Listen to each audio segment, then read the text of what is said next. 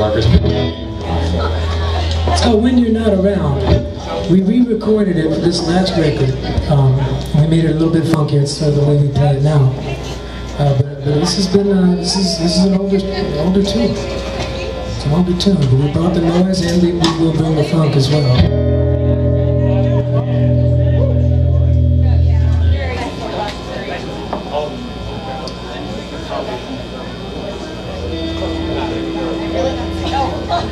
Just